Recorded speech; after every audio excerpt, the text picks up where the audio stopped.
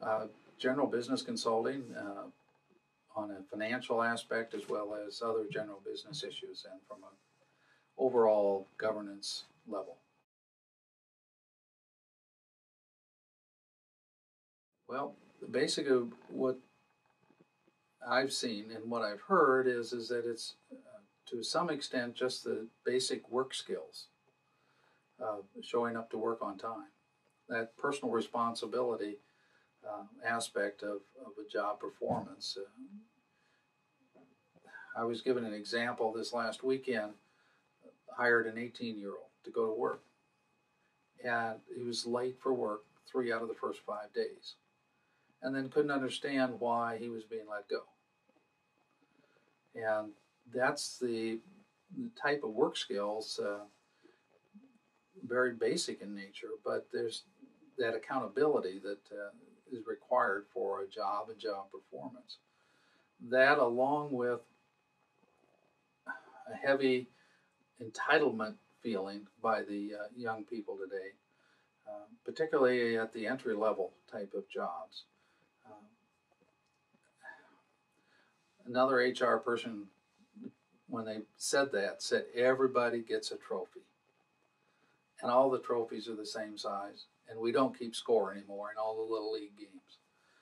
Um, I'm entitled to this job. I'm entitled to the benefits. I'm entitled to the pay uh, before I show you what I can do for work, rather than the way that I learned it, where you, I'll do the work and then show you what how much I am worth. So it's just kind of an attitude approach to it. Um, too many of the younger people today are coming out and they work for a, a, short period of time, get a little money in their pocket, and then this is just too hard and I'll look for something else. Rather than stick to it and really learn the jobs and uh, finish out what they need to so that they can move up and maybe find something that's a little more fun or a little more rewarding. But um, they want it all now.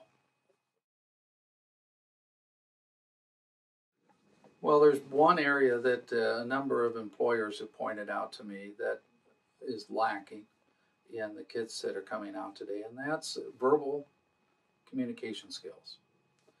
Uh, they're very good at handling the computer, very good at sending emails, but sitting down and having that discussion and communicating effectively uh, is something that uh, a lot of kids are lacking today. And I notice it because I'm on a lot of conference calls and we have younger and older people on those conference calls. It's amazing how a lot of the younger people have a difficulty in communicating with that conference call and expressing themselves so that everybody understands them. It's just a matter of uh, getting closer to the business community and connecting the teachers, the administrators to what's actually going on in businesses. Um, 20 years ago, we invited a bunch of teachers out to our manufacturing plant. A lot of them were so surprised once they got there. They were surprised by the environment. They were surprised by the pay scales that were posted. They'd never been in a manufacturing environment before. So there's a lot of opportunity out there for the educational community to connect with the business community. It's going to take an effort on both sides to actually get that done. All the times that I've seen it happen over the years, it's always been very effective, but it's hard to sustain it.